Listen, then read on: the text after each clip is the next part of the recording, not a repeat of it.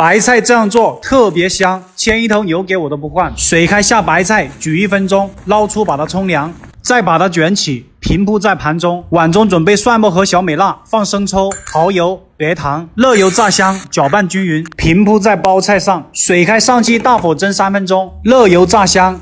出锅啦老好吃了今天要是还有双击的话帮皮皮点亮下感谢大家。